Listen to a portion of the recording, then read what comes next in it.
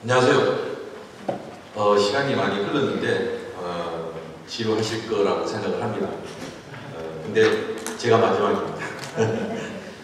그 지금 우리 주비 변호사님께서 말씀하신 게 영주권 그러니까 이 이민자들이 복지 혜택을 받지 어,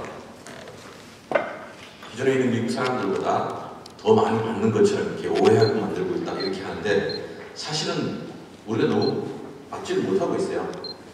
그래서 이 교회에서 이런 사회복지를 어, 좀잘 이해할 수 있게끔 설명도 하고 또 여러 사회기관들이 이런 사회복지 활동을 하고 있는 데가 있는데 그런 것을 제대로 좀 안내해주는 그런 케이스 매니저 하시는 분들이 좀 교회에서 필요하다는 생각들을 어, 하게 되었습니다. 그래서 어, 첫 번째로 이제 어, 왜 교회가 사회복지 정부에서 주는 그런 복지 제도에 대해서 관심을 가져야 될 것인가 이런 부분을 이제 우리가 어, 좀 들여다봐야 될 것 같습니다.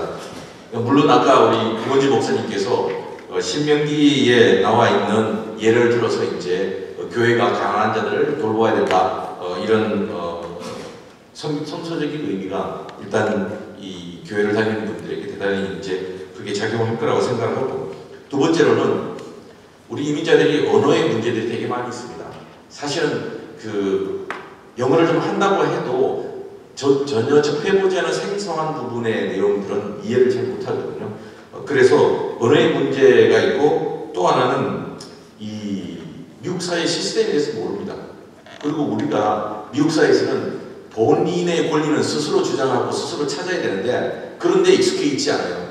그래서 미국에는 어,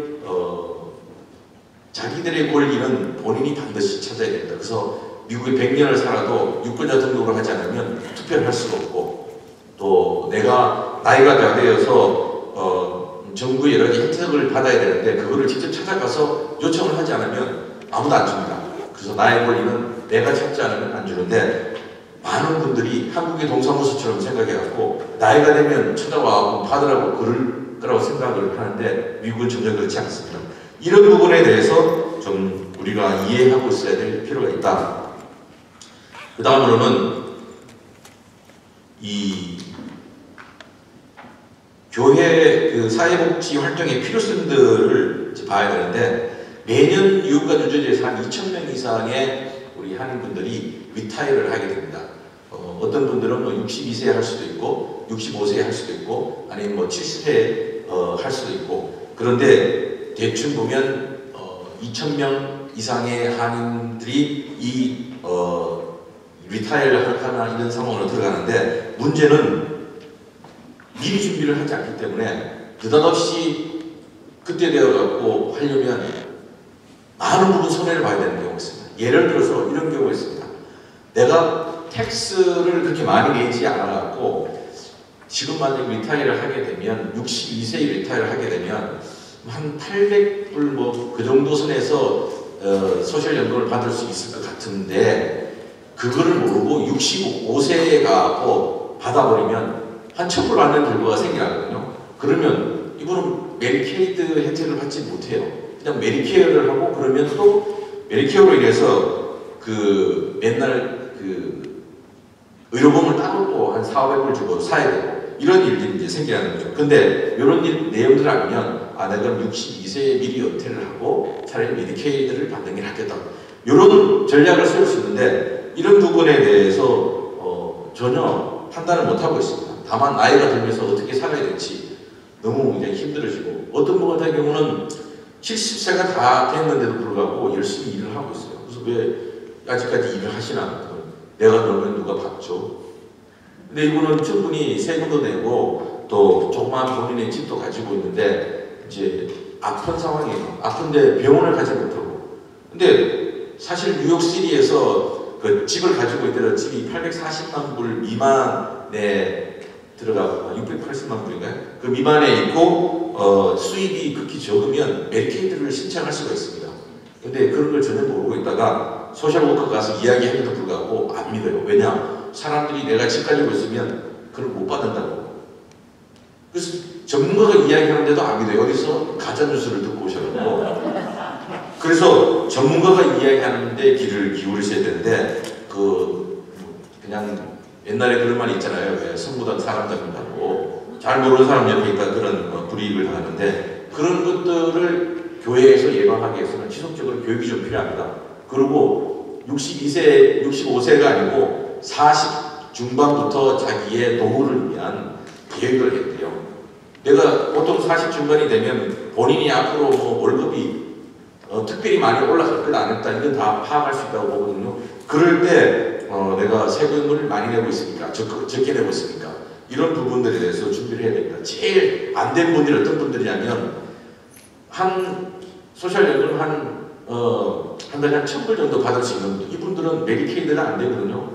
그러면 노인 아파트 가면 노인 아파트 어, Medicaid를 할수 있는 그런 노인 힘들고 그리고 Medicare를 가지고 있어서 보험을 받아야 돼 사야 되니까 보험을 또 사야 돼 그러면 Medicaid Medicaid 있는 것보다 훨씬 더 어, 어려운 상황에서 살 수밖에 없습니다. 이런 것들은 교회가 끊임없이 교육을 해갖고 일상적으로 어, 내가 살아가는데 이런 준비를 미리 해야 되겠다 이런 어, 게 필요합니다. 그리고 갑작스레 이 사업을 실패하고 먹고 살 길이 막막하고 그럴 때 또 혜택을 받을 수 있는 것들이 있습니다. 근데 몇 년 전이죠 프로싱에 있는 이 아파트에서 일가족이 다 자살했죠.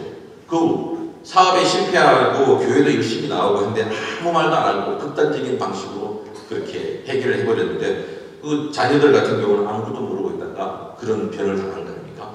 이런 상황에서도 찾아보면 길이 있어요. 길이 있는데 그걸 찾지 않고 그냥 혼자서 끙끙 앓다가 그렇게 되는데 이런 것들을 교회에서 일상적인 교육을 할 필요가 있다고 이렇게 생각을 합니다.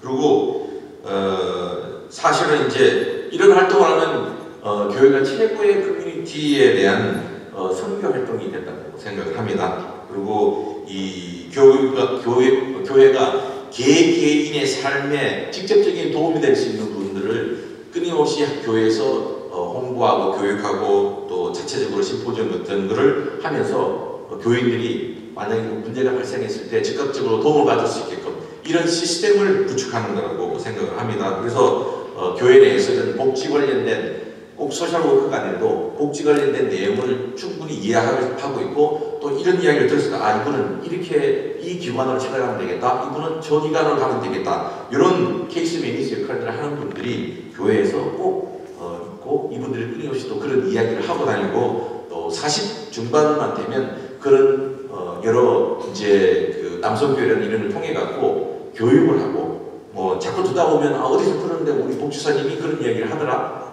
하면서 찾아가서 도움을 받을 수 있는 거라고 어, 판단되었습니다. 그래서 교회에서는 그 각교회 복지 디렉터가 그 스태프들이 어, 되게 중요합니다. 중요한데 어, 그들을 교회에서 미리 미리 좀 준비해서 어, 시간이 있을 때 우리가 좀 교육하는 것들이 이제 어, 필요한데 어, 교회에서 지금 뉴욕과 뉴저지에서 그런 분들이 교육을 많이 받고 있습니다. 그래서 뉴욕은 벌써 어, 오랫동안 그 1년 가까이 교육을 받아서 어, 거의 전문가 수준에 달하는 분들인데 어, 이분들이 이제 교육 하고 있고 뉴저지는 어, 지난번 카운티에서 직접 교육을 받고 이번에는 또 AWCA와 연계를 해서 어, 거기로부터 교육을 지금 어, 받고 있습니다. 근데 어떤 어, 이게 지금 제가 이게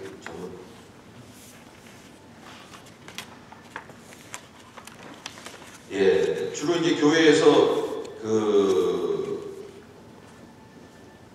하려면 이제 자격 복지 디렉터들의 자격과 임무는 이분들이 이걸 배웠다고 비즈니스로 밖에 나와서 하시는 게 아니고 교회 내에서 반드시 교회 내에서 선교의 영역으로서 일을 하게끔 해야 됩니다. 그래서 이 목사님들이 추천도 그렇게 하고 그런 계약서를 써야 되고 그래서 어, 저 실제로 이제 돈을 받거나 그런 브로커 역할들이 안 되게끔 하는 게 필요합니다.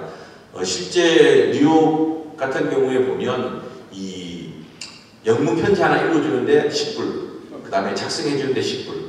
예를 들어 갖고 이제 노인 아파트를 신청하려 그러면 적어도 10군데를 넣어야 되거든요. 그러면 얼마나 합니까? 200불 나가죠. 근데 노인 아파트를 신청해야 할 수 있는 이분들이 역, tax credit이 없는 영주권자들, 그러니까 자녀들을 따라와갖고 애나 봐주고 있다가 영주권 정도 가지고 있어서 어, 이런 분들은 한 달에 받을 수 있는 돈이 400불 미만입니다. 이런 분들이 자녀들이 다 크다고 필요 없어 그 나가라고 해서 밖에 나가서 노인분들하고 이제 룸메이트를 하고 있는데 400불이 채 안 되는 돈으로 룸메이트를 하려니 어떤 환경에 룸메이트를 해야 되는지 상상이 가시죠. 이런 분들 그리고 시민권을 가지고 있다 하더라도 tax credit이 없는 분들은 800불 미만을 받을 수 있는데 이런 분들은 뭐 룸메이트 한다고 한 500불 내고 나면 300불로 살아야 돼요. 근데 그분들에게 200불의 돈을 쓰게 한다는 것 자체가 상당히 어려운 어, 삶을 만들게 하는 겁니다. 그래서 그런 부룩한 분들이 나쁜 것이 아니고 그 사회에서 그런 것을 잘 몰라요. 사회단체에서도 그런 것 서비스를 해주고 있는데도 불구하고 잘 몰라요. 그런데 늘 브로커는 가까이 있거든요. 사람들의 이야기를 통해서. 변호사가 안 되는 것도 브로커가 해준다고 그러거든요. 그 사람이 다 들어. 그래서 돈만 날리고. 전문가들이 이렇게 얘기하는데 이제 그런 부분들이 이제 어, 문제라고 생각합니다. 근데 이제 이것은 지금 교회에서 착실하게 준비를 하고 있는데 여기에 관심 있는 어, 아직 참여하지 않은 교회들은 이런 내부에서 복지교육 하는 것들을 좀 어, 고민을 하시고 복지사들을 준비를 하셔야 됩니다. 지금 1차 교육에 이제 들어갔는데 그렇다고 이분들이 모든 걸 다 할 수 있는 건 아니고 여러분들이 이야기를 듣고 아 어떻게 해결하겠다는 케이스로 이쪽으로 전달해주고 저쪽으로 전달해주고 그런 역할들을 하고 교회 내에서 일상적으로 이분들이 아 여러분들이 우리 필요한 SSI가 뭔지 SSA가 뭔지 그 다음에 food stamp를 어떻게 신청하는 건지 또 뭐 뉴욕 같은 경우는 MetroCard를 어떻게 하는 이런 것들을 충분히 알고 있어서 아 이거는 어디로 가면 됩니다 이렇게 안내해 줄 수 있는 그런 분들을 교회에서 많이 키워야 됩니다 그래서 이제 나이가 되었을 때 지금부터 어, 59세, 58세 그러면 결정을 해야 돼요. 그래서 내가 가지고 있는 재산을 어떻게 정리해야 될 것이며 내가 자녀에게 물려줄 것이냐 아니면 뭐 이거를 사, 교회나 사회기관에다가 내가 도네이션 할 것인가 이런 것들을 판단하게 해야 됩니다. 네, 중요한 거는 여기까지는 이제 복지교회가 왜 필요하고 그리고 어떤 작용을 하고 어, 그 다음에 어떤 사람들이 할 수 있는가 말씀을 드렸는데 사실 이제 그 복지교회라는 어, 것은 정부의 돈을 받는 것이거든요. 정부의 돈을 받아서 운영이 되고 있는데 이 특히 이제 지방 주정부나 이런 데서도 하고 있는데 어, 또이 아, 노인 아파트라든지 저소득층 아파트 여기에 우리가 충분한 돈들을 만들기 위해서 매번 주정부나 이런 데서 고생을 하고 있는데 제일 중요한 게 인구조사에 참여하는 겁니다. 이 모든 것들이 자 1인당 아, 뉴욕 뉴저지 주는 지난 어, 10년 전 인구조사에서 연방의원 한 석을 잃었습니다. 보통 연방의원 한 석에 60만 명을 기준으로 하는데 60만 명 이상이 인구조사에 응하지 않는 거예요. 근데 그 당시 2010년도 기준으로 연방정부에서는 1인당 매년 2,000불에 달하는 돈을 어, 주정부에다가 주거든요. 근데 60만 명이 응하지 않았으면 얼마의 돈을 잃었겠습니까? 10년이면 2만 불이죠. 그러면 어, 60만 명이 2만 10년 동안 2만 불을 못 받게 되면 125달러에 달하는 돈을 못 받게 된다. 근데 다 이 돈이 다 어디로 가느냐? 학교, 그 다음에 뭐이 저소득층 어, 주택, 그 다음에 또 뭐 공공시설에 관련된 들어가는데 문제는 우리가 빵을 만들 때는 참여하지 않고 있다가 빵 다 만들어놓고 먹으려고 그러니까 사람들이 우루루 나타나는 거예요. 그럼 어떻게 되겠어요? 빵 만든 사람들은 열받죠. 근데 이게 너무 추상적으로 생각을 하니까 뭐냐 나눠 먹을 수도 있다 이렇게 생각을 하는데 실제적으로는 그 60, 60만 명이 어, 전혀 도움이 안 되는 그야말로 이, 이 커뮤니티 해악을 끼치는 그런 결과가 생기는 겁니다. 그래서 해야 됩니다. 인구조사에 해야 되는데 그래야만 우리 주에서 이 복지 혜택을 많이 누릴 수가 있습니다. 안 그러면 주 단위에서 돈이 없어서 복지 혜택을 줄일 수밖에 없어요. 그래서 그런 것도 이해하시고 또 유권자 등록을 하고 투표에 열심히 참여를 해야 됩니다.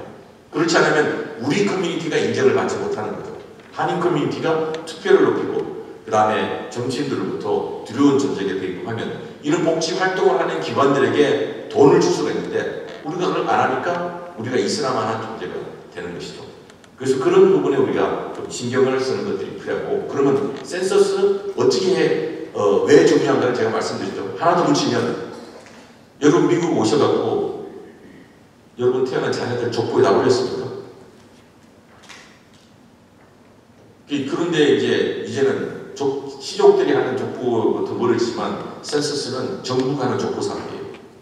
그래서 여러분들이 여기에 있었다, 언제 있었다 이런 부분들을 이 국가 족보에다가 올려놓는 것들이 필요합니다. 물론 뭐 다른 걸로 찾을 수도 있지만 센서스가 가지는 그런 나중에 어, 가지는 것들도 있기 때문에 어, 그런 것들을 제가 이 말씀드린 것은 할머니 할아버지 딱 이 이야기하면 금방 알아들었어요. 아 내가 참여를 꼭 해야 되겠구나. 아, 그 센서스는 또한 어, 왜 해야 되는가를 충분히 이해하셨겠지만 뭐 어떻게 할 것인가 이번에 참 쉬워요. 쉬운데 어떻게 하냐? 열 문제밖에 안 됩니다. 질문이. 그리고 온라인으로 할 수가 있어요. 요즘은 할아버지 할머니들도 전부 다 이런 cell phone 들고 다니시죠. 들고 다니고 이 안에서 카톡으로 어디로 가면 되는지를 전부 다 교회에서 그 센서스 웹사이트를 다 공유하고 집으로 이런 센서스 관련된 질문지를 받게 되면 거기에 내가 들어갈 수 있는 아이디가 있습니다. 아이디가 있는데 그거를 들어가서 넣기만 하면 내가 거기에서 인구조사에 응할 수가 있는데 한국말을 선택을 할 수가 있어요. 원래 센서스가 올- 이 자료가 올 때는 다 영어하고 Spanish로 오거든요. 그럼 거기에서 나는 한국말이 필요해 다시 또 보내면 한국말을 보내주는 이런 어인데 만약에 온라인을 하게 되면 그 자리에서 한국말로 할 수가 있습니다. 그래서 교회에서 목사님이 설교 끝나고 그 자리에 모여가 가지 말라고 하고 다 지금부터 열어갖고 지금 합시다 라고 하면 5분 나거든요. 그리고 잘 모르면 옆에 있는 분들이 또 알려드리고 그렇게 해서 해야 되는데 우리 커뮤니티 아, 이 한 나라의 지도자가 어떤 사람이냐에 따라서 그, 그 나라의 운명이 달라지는데 우리 커뮤니티의 지도자는 누굽니까? 한희 회장? 한희 회장님보다도 저는 목사님들이라고 생각합니다. 왜냐? 다 목사님의 테리토리 안에 들어와 있는 많은 분들에게 다 목사님만 보고 있는데 우리 커뮤니티의 목사님들이 인구조사에 문외한이고 관심이 없어서 안 하면 지도자 역할을 포기하는 거거든요. 그래서 우리 커뮤니티가 좀 발전되고 하는 데에 대해서 어, 제 역할을 못 하시는 겁니다. 그래서 우리 한인 커뮤니티에서 2020년도 인구도 잘 되고 안 되는 거는 절대적으로 목사님들 어깨에 달려 있습니다. 그래서 제가 이 말씀을 꼭 어, 드리고 경각심을 가지고 우리 교회에 오는 분 단 한 명도 빠지지 않고 인구조사에 응하게끔 만들어, 만들겠다 이런 결의를 오늘 이 자리에서 하시면 어, 좋을 것 같습니다. 그리고 제가 주디 장 변호사님이 아까 말씀하셨는데 밖에 나가시면 제가 좀 늦게 와갖고 이거를 여기에 못 드렸어요. 아, 다 들어요. 요거, 요거 좀 읽어보시기 바랍니다. 읽어보시면 이 안에 충분한 내용이 있고, 이 시민권자들 중에서도요, 1200명 이상이, 어, 체포가 돼갖고 추방이 됐습니다. 지난 한 6년 동안. 왜 그러냐? 영어를 잘 못해. 그리고 아무것도 안 가지고 있어. 길거리 가다가 잡혔어. 뭐야? 그럼 내가 집, 기타를 내가 집에 가서 갖고 올게 이렇게 얘기할 수가 없잖아요. 잡아가고 너 거짓말이야. 네가 왜 시민권이야 영어도 못하는 게 이런 식으로 하면서 휴방된 사람들이 무지기수 많아요. 그런 분들을 생각했을 때 거리나 이런 데에서 왜 옛날에 있잖아요. 뭐 그 자기도 모르고 길거리 갔다가 전혀 관계는 남 싸움 하는데 관계돼갖고 그냥 가서 구속되고 이런 경우들이 많이 있잖아요. 우리 어릴 때 그런 사람들 많이 봤어요. 우리 동네에 어떤 사람은 정신이 약간 돌았는데 왜 그러냐? 싸움 하는데 구경 갔다가 어, 옛날 경찰에 와갖고 그냥 얼굴이 좀 험악하게 생겼어. 그 사람이 저기 범인 줄 알고 무지막지하게 두들겨 팬 거예요. 그래갖고 하도 많이 맞아갖고 정신이 살짝 돌아왔어. 그런 분들도 있어요. 근데 이것도 사실 마찬가지예요. 이 길거리에서 내가 어떻게 해야 해서 꼭 시민권자들은 drive license 가지고 다니고 이런 걸 읽으면서 대처할 필요가 있고 또 사실은 시민권자 이외 분들은 반드시 자기의 신분증을 갖고 돼요. 뭐 주, 주재원이라든지 유학생 같은 거 여권 꼭 갖고 다녀야 되거든요. 원래 그게 법이죠. 그거 갖고 다니는 게 그런 것들을 미리 좀 이해를 해 주셔야 될 거라고 생각을 합니다. 그래서 이제 앞으로 복지사들이 이런 내용까지도 일상적으로 교회에서 교육, 교회 여러분들에게 설명할 수 있게끔 만드는 게 제 희망사항입니다. 그래서 교회에서 유권자 등록도 열심히 하고 어, 하고 어, 그런 어, 게 머지않아서 될 거라고 생각하고 그렇게 되면 교회가 커뮤니티가 되고 커뮤니티가 교회가 되고 무슨 일이 생기면 모두 다 교회에 모여서 목사님들과 뭐 지도자들과 함께 상의를 하고 이렇게 해서 한인 커뮤니티가 결속되고 그 결속된 것으로 힘을 만들어낼 수 있는 그러한 것에 저는 복지 이 교회의 역할이 달려 있다고 생각합니다. 이상입니다. 고맙습니다.